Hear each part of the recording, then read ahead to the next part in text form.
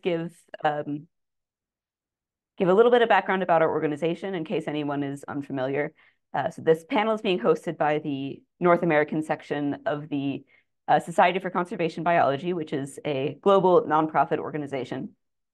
Um, as a group, we aim to bring together conservationists both in research and in practice to build a um, professional community and to help facilitate success in conservation. Um, so one of the ways that we do that, that we try to bring people together is by holding conferences every two years. And our next one is less than a month away at this point, which is crazy to think about. Um, so this is the North American Congress for Conservation Biology. Um, it's being held in Vancouver. It's from June uh, 23rd to 28th, and I'll put all this information in the chat in a little bit. So these conferences are really uh, excellent opportunities to hear more about latest developments in the field um, and also to network in a professional setting, um, especially for students and early career folks. Um, one of the best things about the conferences, in, in my opinion, is really the diversity of topics that get covered there. Um, there's a lot of conservation biology, but there's also um, policy and sociology and economics and psychology and even the arts. Um, anything that really can relate to the science and practice of conservation is really represented at NACCB. So it's a really good conference uh, if you haven't been before. Um, and one of the reasons why we're holding the panel discussions right now when we are in May is so that they can hopefully start to sort of initiate some of the professional networking that can take place at the conference. Um, some of the panelists that you'll be hearing from today will actually be attending the conference themselves. So there might be some opportunities to reconnect with those individuals there um, and continue these conversations in person. Um, so to try to facilitate the connection between these panels and the conference, um, we have arranged for anyone who's here at these panels to receive the discounted um, early bird conference registration rates. So uh, just going to briefly turn it over to Bernie to explain how that would work for anybody who is interested. Thank you, Anna. Um, hi, everyone. Thank you so much for being here today. The uh, I briefly wanted to go through the process of the early bird registration. Super simple. If you have not yet registered for NACCB and you want to after today's panel, just send me an email uh, stating that you're going to be registering and then go through the registration form, select your registration category. But before you check out, uh, I will be able to go in and manually add the discount to your registration so that you only pay for the early bird rates. So super easy. You just have to send me an email and I'll include my email in a chat in a little bit so that you can uh, communicate as needed. Thank you. Cool. Thanks, Bernie. Um, all right, so at this point, I'd like to go ahead and get the discussion started. Um, I'll have the panelists introduce themselves in just a moment, but um, before I do that, I'd like to just set some sort of basic ground rules for the discussion. Uh, we will be taking questions from the audience posted in the chat. Uh, there's also one question that was pre-submitted through our Google form. Um, I would just ask that everybody try to stick to sort of broad general questions and avoid asking for advice on really specific individual situations. So this is only an hour. It's going to go really quickly. So we're just trying to keep it um, sort of broadly relevant for as many people as possible. All right, so let's turn it over to um, our panelists. I'll let you go ahead and introduce yourselves in, in whatever order uh, feels right. Um, if you could just let us know who you are, um, what you do, what you do in your current role, and then maybe just briefly how you got to where you are. Whoever wants to go first.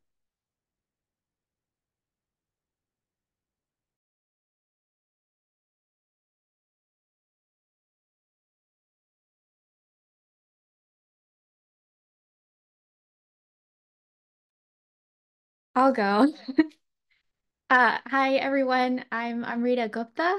I'm a, a research scientist at Microsoft's AI for Good lab, where I focus on using artificial intelligence and data science to advance biodiversity conservation specifically, but sustainability goals in general um, by partnering with a lot of external uh, collaborators in academia, um, the nonprofit sector, and in uh, other, other companies, um, and also government agencies. Um, so uh, prior to that, I completed my PhD at uh, Georgia Tech in the College of Computing in 2021, and then went to work at a nonprofit called Conservation Science Partners for uh, a couple years as a data scientist before taking on my role at Microsoft. I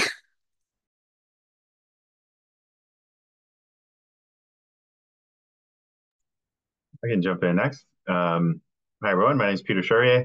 Um, I'm uh, I work with Wildlife Conservation Society Canada, um, and uh, Canada is where where I'm based. I'm based in Ottawa, Ontario, um, and did my schooling here as well.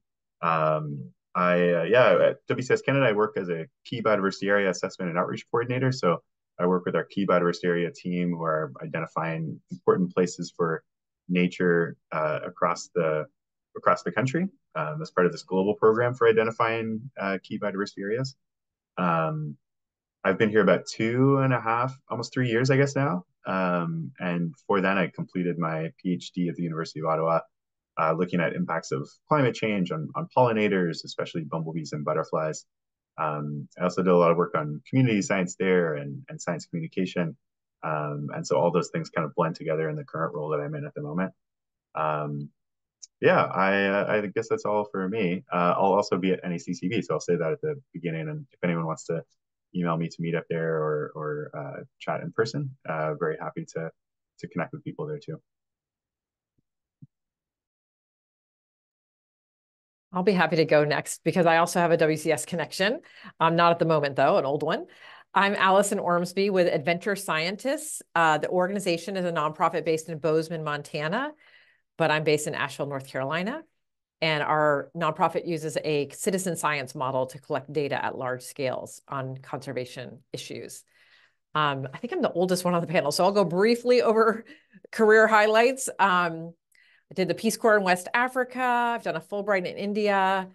My PhD is in environmental studies. I researched people park interactions in Madagascar. I've been a journalist with the UN. I worked with the WC, with WCS at the Bronx Zoo and also in Papua New Guinea. And then I taught as a university professor in environmental studies for 20 years. And now here I am at Adventure Scientist. So happy to talk about any of those things. Love traveling. I'll also be in Vancouver with a um, booth. So come, come visit our Adventure Scientist booth.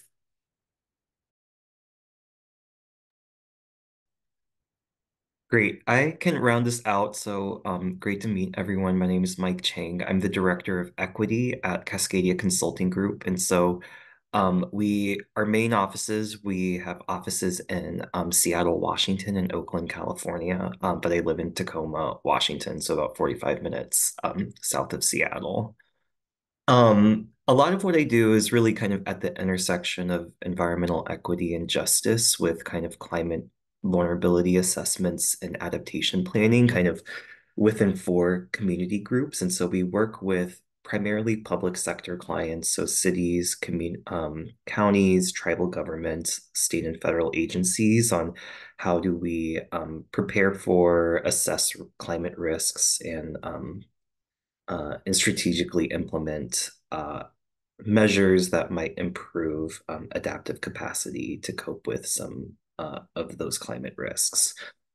Um, kind of, a, I have spanned a lot of different types of organizations. I um, did uh, my graduate school education. I got a master's from the University of Washington and kind of uh, had a social science training, so did a lot on perceptions of things like marine renewable energy and fisheries management. And so uh, initially got started in the field working um, in the fisheries side of things. Um, and then uh, about 10 years ago, as uh, ocean acidification phenomenon and the impacts of OA became bigger, began studying the impacts of ocean acidification on marine resources and kind of made the slow transition into the current job that I have today um, in the climate space. So um, yeah, so it's really excited to be here.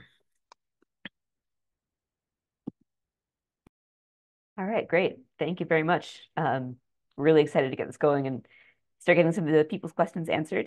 Um, we'll start with probably start with the one that was submitted uh, online in advance, and then we can start. Oh, there just was another one that came in. Okay. Um, well, for the first one, uh, how would you suggest building a strong resume and CV if you don't have a lot of experience? So anybody who wants to speak to that, go for it.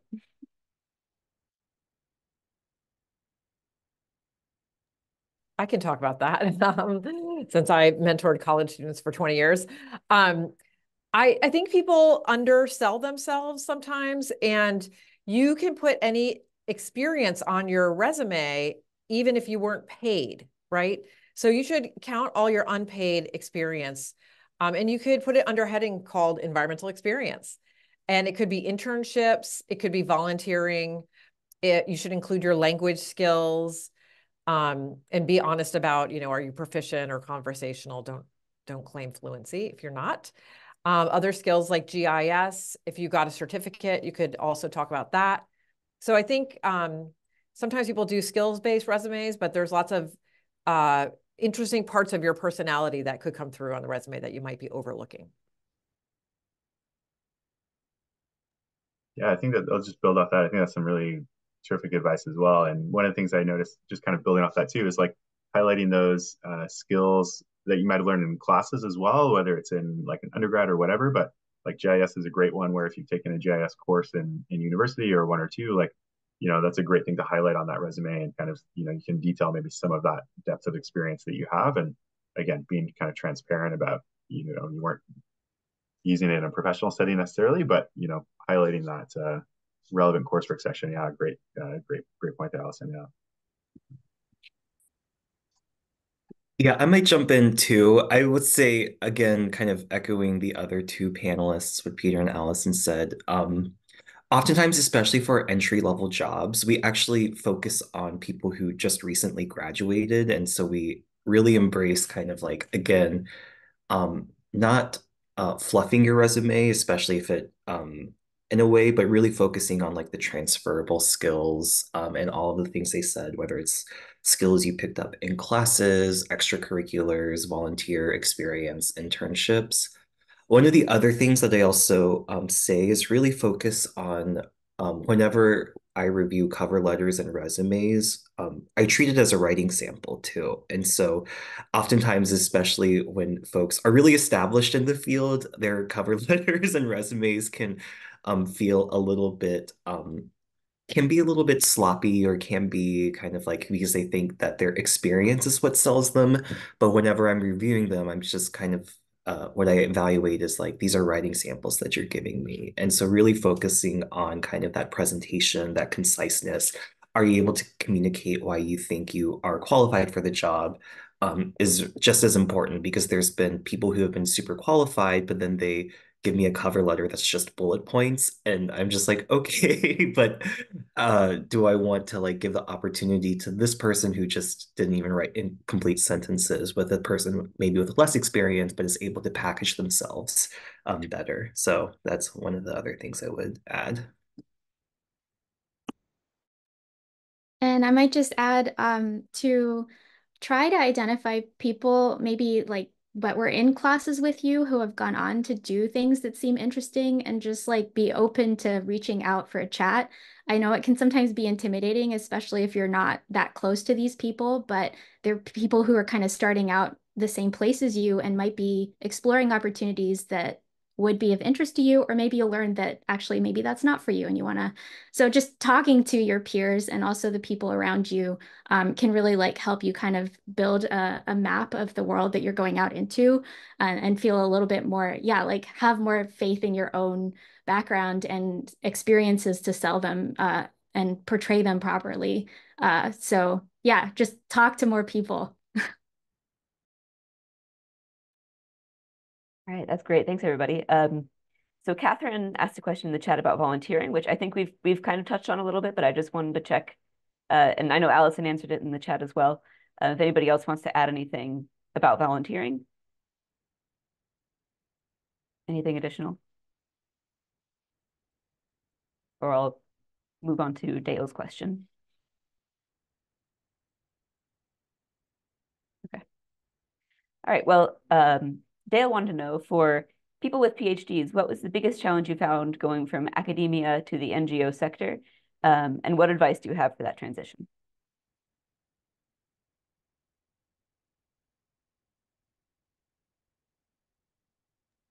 I'm happy to I'm happy to kick off, I guess, because um, it feels like it was you know pretty recently for me that um, that I made that transition. Uh, I think one of the biggest things that um, I think there are two big things that really like uh, that I noticed come making that transition from from academia into the NGO sector and just having like a real people job, quote unquote, um, which was uh, I think the biggest was that like the work is a much different nature of like in a PhD, everything is kind of entirely dependent on on you, um, or most things are. I felt at least for mine. Um, whereas in the you know when I started to work with an NGO, you start to depend on a lot of people a lot more, uh, and it matters a lot less. You know, in a PhD, you have this you have uh, you know sometimes getting these bad habits of putting in all these huge hours and and working these insane uh, insane amounts of time and you know you can kind of see that pay off because things depend on you but in the ngo space that doesn't always that isn't always the case you can spend a lot of time working for really long hours um, and at the end of the day you're kind of limited by other people in a different way so you know it's much more important and, and feasible to have like a really great work life balance. Um, and so i think you know that was something that in the early took me a little while to adjust to was just like adjusting to the fact that like you know in a lot of places that you know hopefully you're expected to have a good work life balance and and things are set up for you to um to you know to live that way in a long kind of sustainable way. It's also you know in a phd you know it's, it's four or five or six or however many years but you know a career is like is going to be the rest of your life so a lot more important to take that kind of marathon approach and you know approach things slowly and uh, and more uh, sustainably um, and the other thing I would, the other kind of big challenge that I found was uh, with like project management and things. Um, it's a lot more important in the NGO space, I feel, because there's, you know, you tend to be juggling a lot of projects that are, you know, maybe smaller in scope and whatnot, but, uh, you know, being able to juggle that management aspect and managing your time and, and kind of where you're focusing uh, is is really important and not something that I think academia prepared prepares most people very well for. Um, there's definitely ways to seek that out, and I think that's you know if you're partway through your PhD, I definitely uh, you know start to think about ways you can kind of uh, up those those project management skills and just start to think of that in advance because it you know pays off in the PhD if you do learn it, and then and you know orders of magnitude as well and in the career later on too. I can answer that NGO academia question too. I was in, I worked for two NGOs before I got my PhD, then I worked for another one afterwards. Um, and like Peter said, I, I can't stress enough how the culture of different NGOs is different. So um, I think work-life balance is really important. And I think um, it's actually hard to achieve. And so I think it's worth, you're researching the nonprofits as much as, as they're researching you when you apply. So you should ask around. Um, you know, like Amrita said, you should talk to people, network, ask around, find out the reputations of the different organizations, intern with some of them, volunteer with some of them. Um, yeah, and the culture is completely different than academia. Like, couldn't be any more different. So, you know, in academia, you're striving for tenure or you're getting your PhD, you're self-directed with your committee. And then um, in nonprofits, the size of the nonprofits matters, the budget, what kind of hierarchy they have, where the scope of work is, what kind of benefits they offer. It's just, um, it's just so different.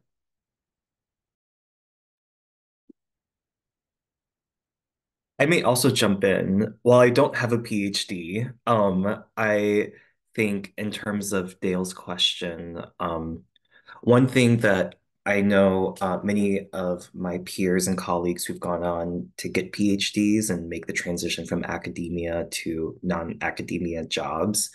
One thing is kind of um, fellowships can be a really important tool to kind of like break out of academia. So um, uh, a lot of folks that I know um, have done fellowships through different societies or different consortiums, like the Sea Grant fellowships have been um, really important to kind of get some of that um, applied uh, experience. Um, and then I think the other thing, because um, I've also hired people from academia, one thing that I also say is that uh, at least in the private sector, we really focus when we do resume reviews, we want to review a one to two page resume. We don't want to review an eight to 10 page CV. and so I think um, what's really important is kind of being able to um, how do you represent yourself uh, when you have less real estate um, to submit? And so I think um, what people have worked with career coaches, people have worked with mentors, whether they've been previous advisors or close peers that they have within the field. Um, being able to kind of condense that full CV into a one to two page resume um, is important to kind of um, make that jump. And I'll just add that I threw a couple of links into the chat for kind of some resources or directories that I know of that are a little bit biased maybe towards conservation tech jobs, just because that's my um, that's my area. But they're kind of running lists, and uh, Wild Labs is actually a really nice community of people that get together to talk about um, projects, collaborations, but also job postings and opportunities. Um, so there's just a couple of things that might be helpful uh, for browsing. I saw. I also I saw Dale's comment there. Uh, I think they. It sounds like they meant more about in terms of getting the job in the first place too. Um, so I'm Amrita. I guess you read that, and those links are perfect there.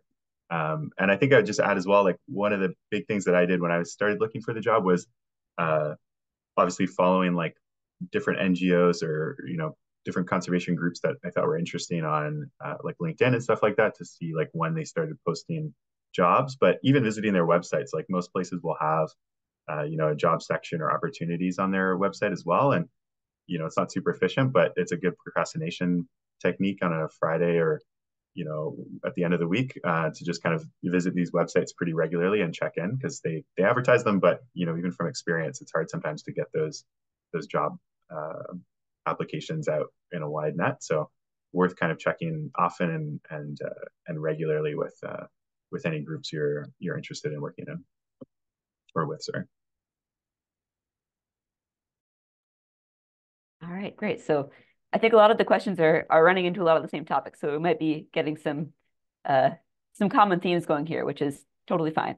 Um, and I want to get to Miles' question. As a recent graduate with a bachelor's degree in environmental science, what is the best first step I should take to prepare for a career in environmental research?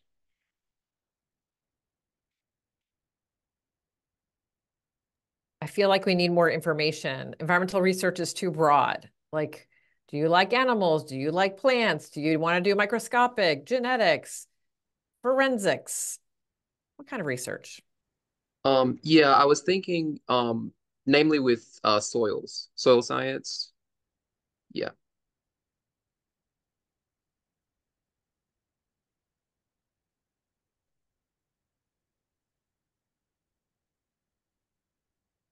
Well, talk to some earth scientists, which I think we're not. But um, USGS or um, any earth science associations, that's something I would recommend to everybody. Oh, shout out for SCB. Um, everybody should join a, a professional organization. And, and if you're still a student, get a student membership when it's cheaper.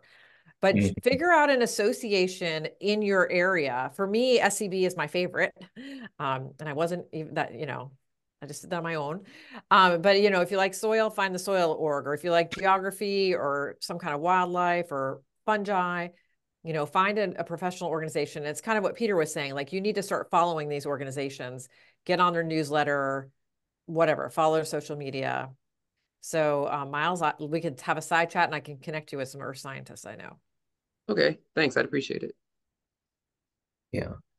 And I might um, add on to that, Miles. I think um, one of the uh, my first job out of my undergraduate, I actually um, connected with a uh, different faculty members and just got a job as a research tech um, at the same university I graduated from. Um, and I worked there for a couple years after I graduated, and that gave me kind of a lot of the hands-on kind of like research foundations. Um, it also made me realize that when I did end up applying to graduate school, I didn't want to apply to a scientific graduate program. And it was definitely more in the applied social sciences and policy space. And so I think that was really, really informative in shaping the career direction I went into.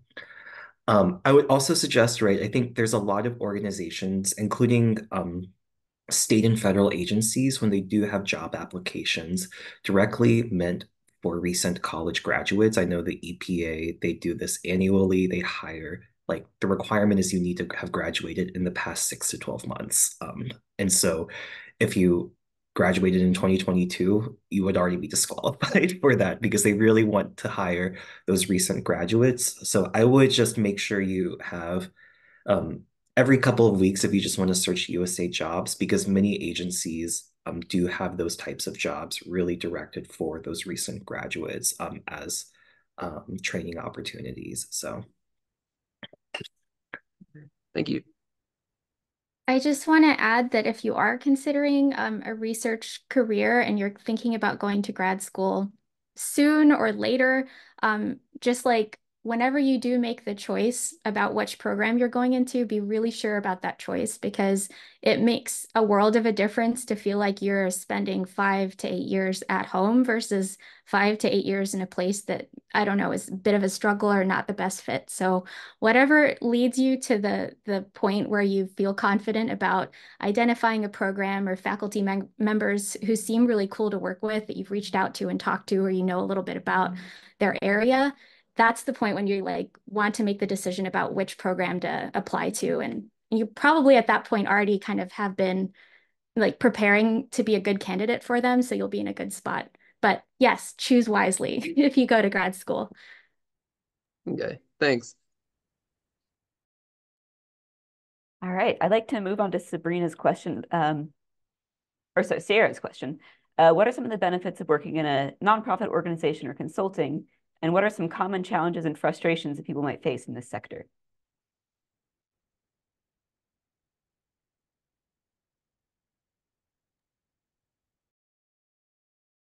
I um may jump in. So I've had kind of been at a variety of different institutions. So I've been in a university extension. I've worked at um, a large nonprofit. I've worked for a tribal government, and now I am in private consulting. So I have kind of spanned all the different types of institutions. I think um uh you know, I think there's actually a lot of similarities between nonprofit work and private consulting. Um, there is a lot of really, um, with nonprofits, oftentimes we're responsive to grants we may receive, um, uh, our funding that we may receive as an organization. And similarly, in private consulting, we are responsive to things like RFPs or RFQs that provide us funding to do work. And so there's actually a lot of like similarities in terms of like the business models between nonprofits and consulting. Um, I think uh, some of the considerations, um, uh, benefits, both I think um, there's I always say there's pros and cons of every single job. And so there's, if you're like, oh, I need to find the perfect job that is like satisfies all my needs, um, it might be out there, but um, it's probably really uh, the unicorn job. And so I think one of the things I always like think about is um, try a lot of different organizations out and kind of get a feeling of what may feel right for you um, in terms of your values, in terms of how you work and your working style. I think for me, um, when I was working at a nonprofit, I worked for the Nature Conservancy. And so it was a very large nonprofit that was like in and of itself a huge bureaucracy. And so I think there was some like things that I wanted to do that I didn't quite, I wasn't quite able to do because of those like bureaucratic um, processes that were in place um, whereas in private consulting, I work for Cascadia. So we're a very small firm. We're about 80 people right now based across two offices. And within private consulting, I think there's a lot of like flexibility in how we do work and how we show up for communities that we serve and work for. And so I appreciate that nimbleness that wasn't quite afforded in a large nonprofit. That being said, right, I haven't worked for small nonprofits, so small nonprofits may offer the other nimble, that kind of like nimbleness and flexibility in how you do work. Um, yeah, so I think again, there's pros and cons of each, but I really am an advocate for kind of getting that diversity of experiences, seeing what types of organizations fit your values, your work style, your approach, your philosophy, um, and getting that uh, so you can get into the industry or the type of work that you want to do.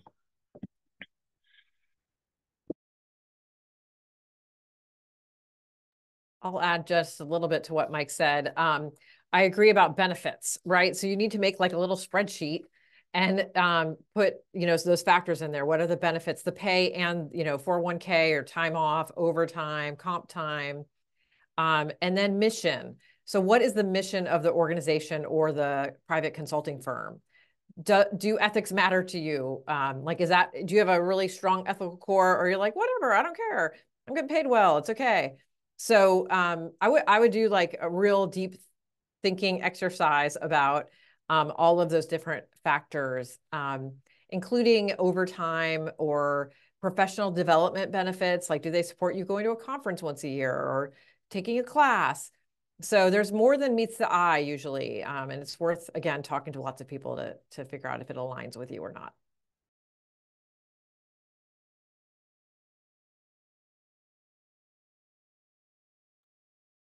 There's nothing else to add to this question. I can pull one from that was um, submitted online. If we're ready to move on. Okay. All right. So this one, I'm I'm paraphrasing this a little bit and making it a little bit broader. So this person has a lot of, uh, they have a PhD, they have a lot of experience, research experience with a species specifically that does not reside in the US, but they're now at a stage looking for a long-term position here in the US. Um, so wondering how do they transfer their knowledge of, in, this case, behavioral ecology, but I think you could apply it to, you know, different kinds of different kinds of science uh, from an animal that's, you know, not in this country um, to a hands-on job with an ecosystem or an animal that does exist in this country.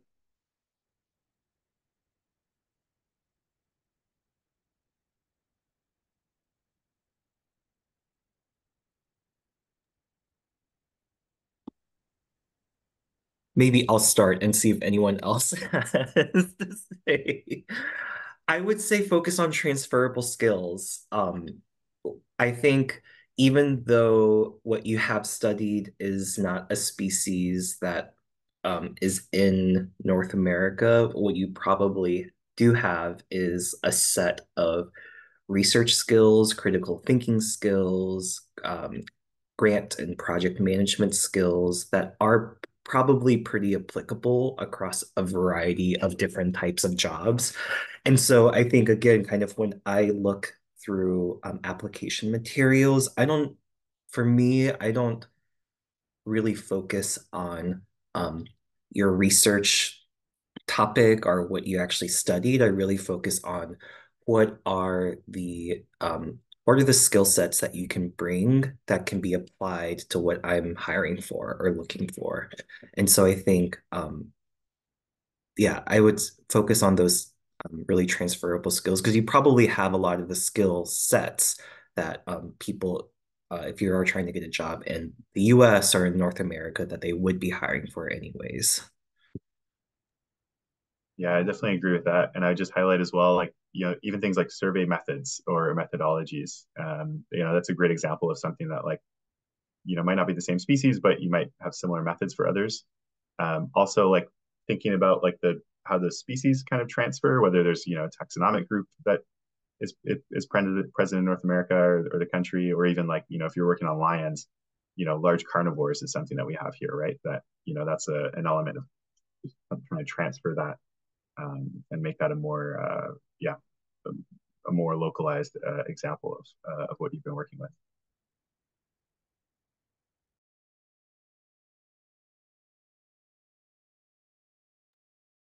All right, so I want to go to uh, Juliana's question, and we did talk about this a little bit uh, earlier, but maybe we can kind of circle back and and give a little bit more on the subject. Uh, just kind of generally speaking, uh, picking graduate programs, either a master's or a PhD, um, what are you looking for? In terms of, if you're a prospective student, what are you looking for in the program? I could answer that. um, so I already put in the chat that everybody should join ResearchGate. I, I really like it. Um, it's a way for you to get articles directly from um, academics, often for free. Um, and it's a kind of like a LinkedIn of academia. So for graduate school, first of all, master's versus PhD is super different. So you'd want to think about, do you want to spend two years in the US or one year abroad getting a master's or four to seven years in the US or three to five abroad getting a PhD. Do you want to go into academia and teaching, then get the PhD? If you don't, you don't really need a PhD, just get a master's. Um, do you want to get funding or not? Everybody wants funding. So you need to take time to search out the funding sources. You need to reach out to probably five to 10 faculty members who might be your advisor and see if they actually respond and then find an awesome faculty advisor. And then they're going to have some money for you and you need to ask them for money. So you could be their research assistant, which is an RA, or their teaching assistant, which is a TA. You might teach lab sections, you might help with research. Um, so you're actually kind of doing an interview process to find the right university for you with the right subspecialty and advisor that you actually like and who's going to be an advocate for you. So uh, you need to spend at least a year researching schools, um, but maybe more because the funding cycles sometimes are only once a year. So happy to talk more on the side about that.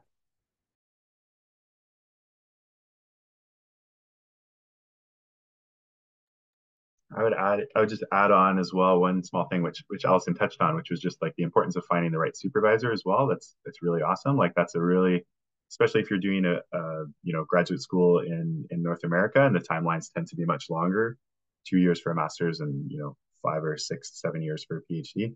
Uh, really important to find someone that you know you'll get along with through that whole time uh, and that you know you know you'll have a good experience with. So really important once you've narrowed it down from that you know five to ten into like you know two or three or whatever.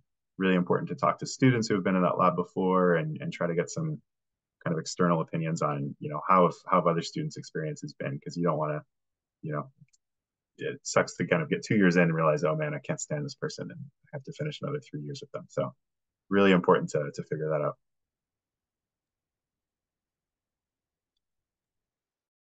Yeah right. and go, go uh, ahead. Yeah one more thing um, that I had a mentor of mine um, tell me when I was thinking about uh, graduate school and whether I should go for a master's or a PhD.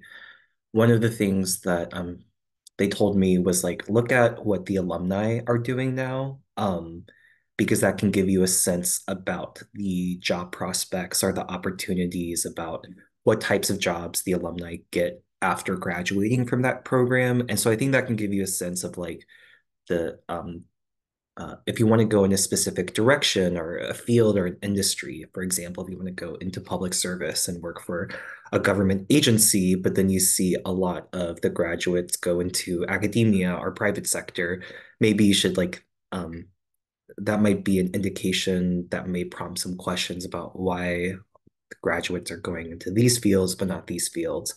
Um, and, and it can very vary based off of the program, but I think seeing where alumni end up can get a good sense of like the types of skills and jobs that um, the program prepares you for. And then I have one more tip about talking to people. Um, so if you're currently still in school or, you know, you probably are in some classes where you have TAs who are graduate students um, like Alison mentioned. And those are people who kind of, because it's now their job to kind of learn the landscape of research, they're kind of starting to form patterns in their minds about which which departments or which universities kind of specialize in different topics really well. Um, and so this might differ from kind of specialization to specialization, but those are also people who like you have access to and who you could probably ask like, hey, um, what's your research about? or like what's another department that you thought about going to? or like because they're just a little bit closer to that like having made the choice of which program and why. But you know they'll have kind of impressions they can give you uh, from their searches for other or what they're learning about work coming out of other institutions.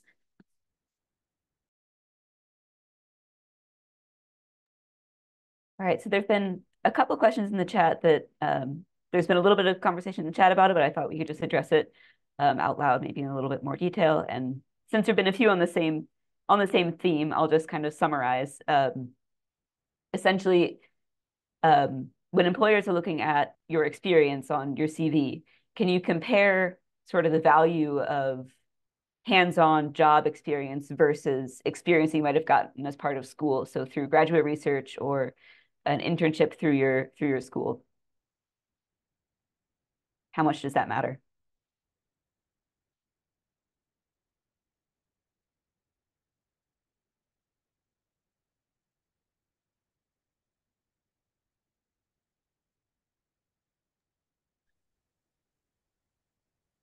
I can start, and maybe this might inspire um, others. Um, I think my perspective is um, it's about how you frame and message your experience. Um, it uh, again, kind of like whether someone could have a, a lot of different jobs, but if they're not able to um, communicate why their set of experience makes them a best fit for the skills or the res job responsibilities that I'm hiring for, um, I might uh, go for someone who may have less work experience but are able to communicate why their um, coursework or why their volunteer experience really prepares them for the job. And so I think it's really about this is why I think it's really important, like um, things like the cover letter. Um, I read every single cover letter because again, I use it as a writing sample. It's kind of like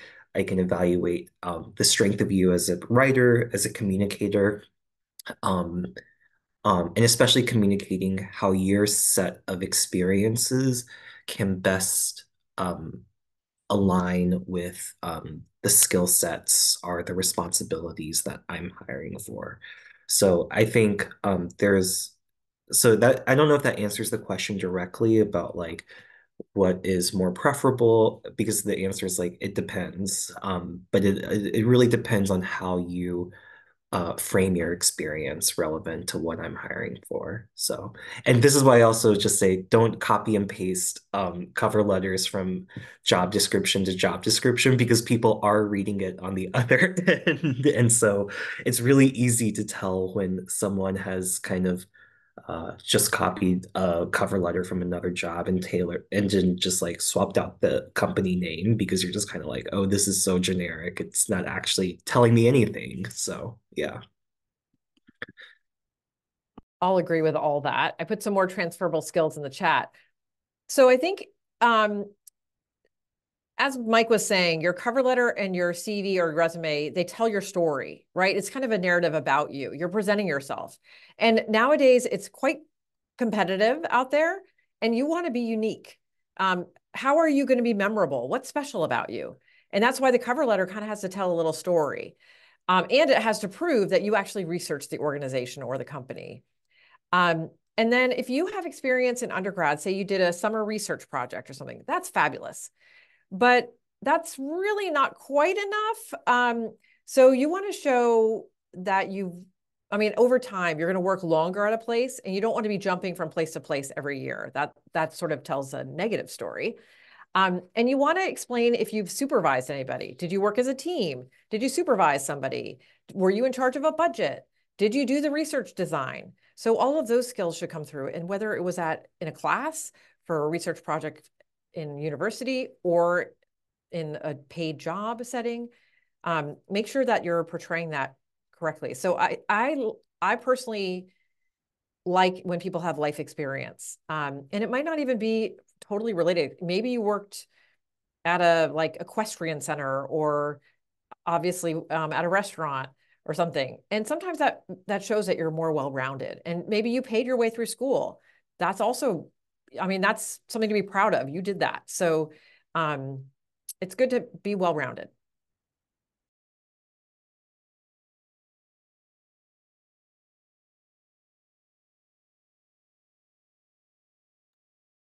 All right, if there's nothing further to add on that question, I can take Elizabeth. You have your hands up. Yeah, I just sort of wanted to uh, piggyback off that with a question. So I guess part of the question I had about transferable skills and getting that to come across is the things that you're saying right now. I can't picture what that looks like on a resume because the way that I tr- communicate those things on a CV is to say grants, awards, and fellowships, and then I just list whatever these are. Um, so, what are these categories? What does this look like? How is it designed? It just looks so different that at the start of it, it looks like I did nothing for 10 years. I would just take some time to just, I don't know, grants, awards, and fellowships, just as sections, if they're included with anything under them, tells me immediately that you know how to write proposals. So you know how to plan work. you got them done, like because you probably had to report on the grant that you got. So you had to manage a budget. So just that section itself kind of communicates a lot more of that context. So like some of that story is already coming through, whether you really see it or not. Maybe you're in the weeds of editing your resume or your CV, but I think that's a great start. Okay, so having sections like project management, that's not necessary. There is still some like reading between the lines that can happen here. Yes. Okay. You would only do project management if you were doing a skills-based um, resume, which I find to be a little clunky, actually. It's more businessy kind okay. of thing, I think. But I think um, do, don't just list the fellowship and assume people know what it is. Say what year you got it, how much money it was, and what it was for. Like, was there a project title? Give us the project title. Tell us briefly what you did. Like, did you count salamanders for six months? Or again, that helps tell the story. Um, so yeah, give a little bit more okay. detail. Okay. Great. Thank you very much. One other thing I would say, um, one thing that I actually found helpful, I went to, um, I guess this was about 10 years ago, I went to an AGU conference as I was coming out of um, like making a job transition. And so it was an AGU conference and they actually had like um career coaches at the conference that were free to use and you could just bring your CV um and they could and you could and you had your own objective. So if you came and just being like, here's my academic CV, I need help transferring it into like a more applied professional resume that's one to two pages. Um, they are really, really key. And actually, one of my close colleagues who came from um, academia into private consulting, she did something very, very similar. And um, she said it was a very humbling experience because her entire CV was just kind of uh, torn apart and reorganized by um, this career coach that she met through one of these professional society conferences. And she said it was really, really helpful about like how for her to learn on um, how to like prepare a resume for non-academic jobs. Yeah. How could one maybe find a person like that by but not going through some you know a conference or a seminar or something like that? I um good question. I think um if you are still affiliated with university um probably reaching out to if there's a career center that's available for um uh students staff faculty um is probably where I would start. All every university you all have attended, the Career Center should be open to you for the rest of your life, right? You're an alum of some somewhere and they should be available. People are also really nice, right? So if you're on LinkedIn and you're linking with somebody who, and you're like, I really like your job. Will you look at my resume? They probably will. Yeah.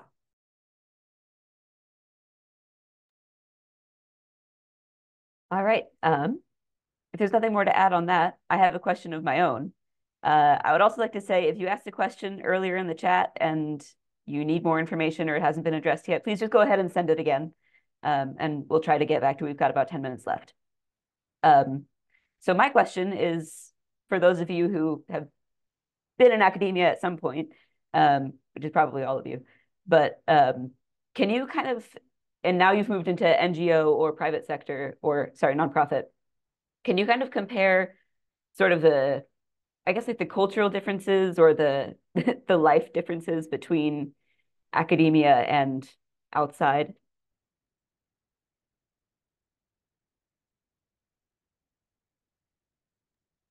I can since I'm still sort of detoxing from academia. Um, the, I mean, the tenure system is um, unique, right? So if you're in academia, you've heard uh, publish or perish. Every school is different. So some schools are teaching focused, and so they're not so obsessed with publications. Um, I will say the whole publication landscape is changing or has changed, and the whole like pay to publish. I have feelings about that. Um, but yeah, the tenure, the the um, I think kind of like what Peter was saying about when you're in academia, you're you're working all the time, right? You're never off. You're working. Um, you're grading papers, you're preparing lectures, you're helping students. It never ends, right? And um, in the nonprofit world, hopefully, if you have good work-life balance, you actually work 40 hours a week or something like that, or you at least get overtime or comp time or some kind of some recognition and some holidays. Um, I will say the academic calendar though is is pretty fabulous.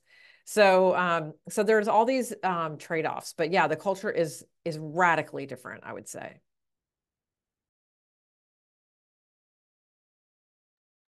I think, I think I would add that, sorry, um, No, go ahead. I'll make it quick.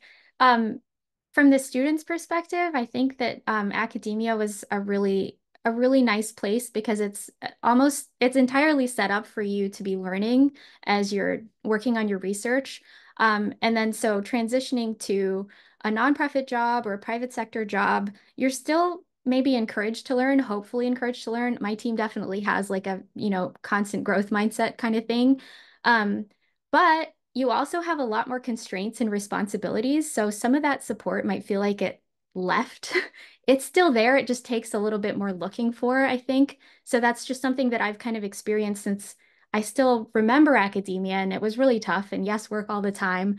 Um, but there was kind of like a lot of built-in support for that for that time when you go into the workforce it seems just like oh like this is your job and you kind of need to execute on it and you'll have hopefully a good mentor but sometimes you have to like try really hard to maintain and build continue to build your mentor network so that you can get that support it's just a little bit more active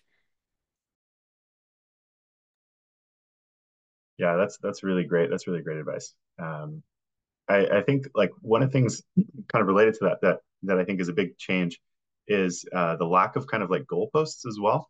Um, in academia, you're kind of as a student, you're kind of set up where you know you have different check-in points with your thesis committee every year. You have like you know papers you're working towards, and there's like really consistent and obvious goalposts that you're working towards. Whereas uh, you know when you move into the NGO space or or most other careers, you kind of lose that, and it can be a lot harder to kind of you know you have to just deliberately kind of structure your mindset and kind of frame yourself i think to um, you know, to account for that and, and figure out your own personal goalposts and milestones that you want to work towards. Um, so I think that's a really important one, kind of building off what Amrita said. Um, and I think generally what, what I was going to add was uh, kind of getting out of that student mindset in general a little bit, or kind of moving where, you know, and uh, in academia as a student, you're often in this kind of you're with your cohort, uh, or you're with folks who are, you know, uh, kind of in a more concretely elevated hierarchy hierarchy position kind of above you. Um, whereas, you know, in the workplace, that's not that's not true. You know, you might have your colleague who's been here 20 years and you're kind of, you know, you're working beside them doing the same job or something. So I think it's important to kind of step out of that, like, you know, now you're you're a professional and you know, you you might feel imposter syndrome and all these things. Most people do for sure. Um, but you know, you're a professional and like, you know, you've bamboozled your way into this like job and now like fake it till you make it. And uh, I think it's important to try to like keep that in mind as well of like you're in a different place than you were as a student and like you know you deserve respect and like people should should give that to you as well and uh and yeah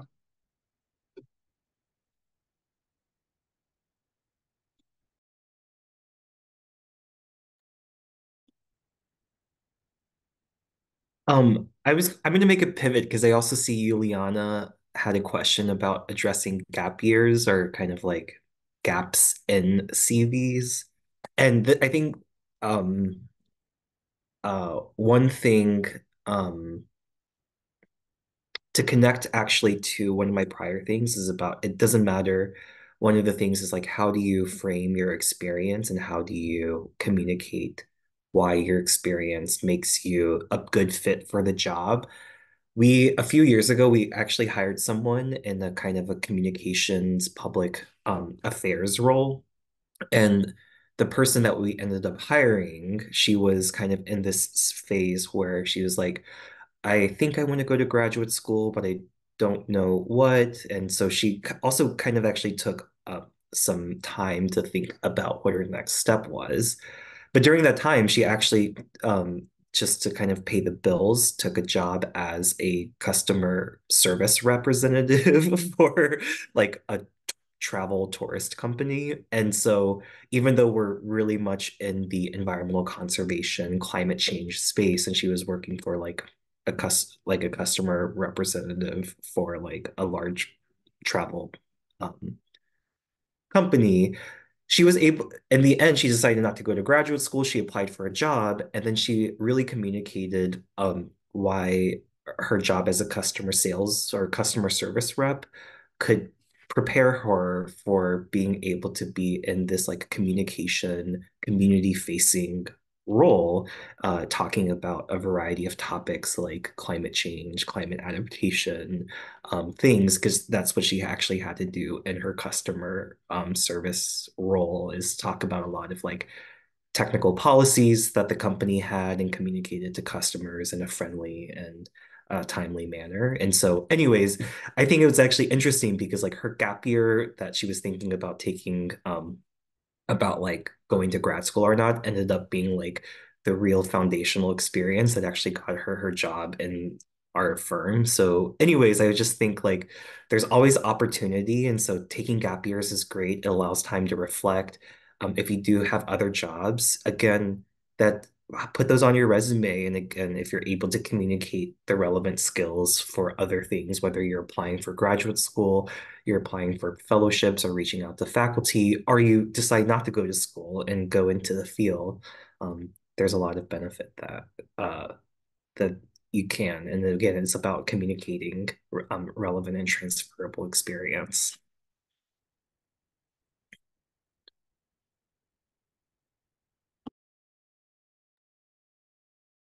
All right. Well, thank you very much, everybody. It is exactly three o'clock. So once again, we've wrapped up just at the hour, which is wonderful. Um, if anybody has any final comments or anything, now's a now's a good time. Otherwise, we can wrap this up. But um, I really want to thank our panelists. This was this was great. Lots of good, uh, lots of good comments. Lots of good advice. Um, and thanks to everybody for coming.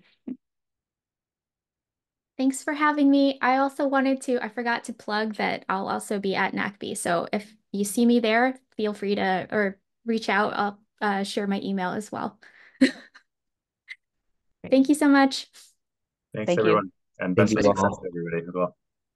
Oh, before folks leave, I did want to plug something in as well. Um, Anna, we are developing a, men- a networking session during NACCB as well. Yes. Uh, so information on that will be up on our uh, program soon. Um, so that's a, a very clear opportunity for anyone here who's attending NACCB to just come and talk with a bunch of cool folks that are part of our organization. Including, I believe, Alison. I'll be there. Yeah. Yay. Thank Yeah. you, Bernie and Anna, for organizing this. It's so great. Oh, this is all Anna. Yeah. Thank you. Well, It's cool. Thank you. Thanks everybody for glad that it- attending. Glad that it came Yeah. came together. Yeah. Good idea. Okay. Take care, everybody. Thanks, everyone. Bye. Nice Thanks. to meet you all. To meet you.